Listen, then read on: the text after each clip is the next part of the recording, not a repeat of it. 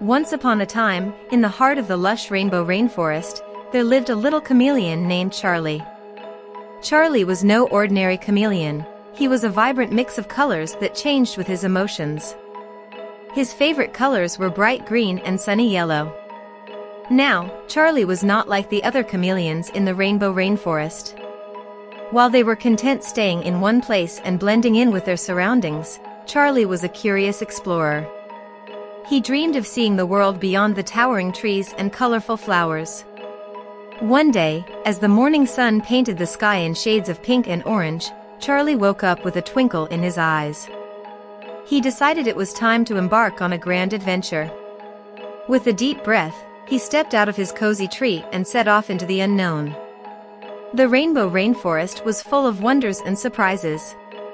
Charlie encountered chattering monkeys swinging from tree to tree, chattering parrots with feathers as bright as the rainbow, and even a wise old turtle who shared tales of distant lands. As Charlie ventured deeper into the forest, he faced challenges he had never imagined. Slippery vines and tricky branches tested his agility, but with each challenge, he became more skillful.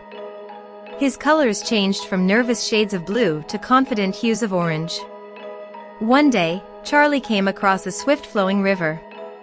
It was the widest river he had ever seen, and on the other side, he spotted the most beautiful flowers he could imagine.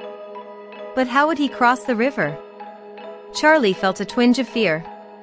Just as he was about to turn back, a friendly butterfly named Benny fluttered down beside him. Benny had vibrant wings that matched Charlie's colors. Don't worry, Charlie. I believe in you. You can do it.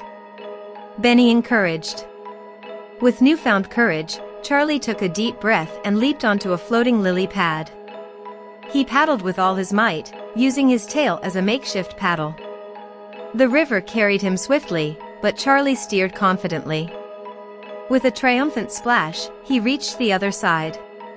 Charlie felt a surge of pride as he admired the breathtaking flowers. They were even more magnificent up close, and their sweet fragrance filled the air.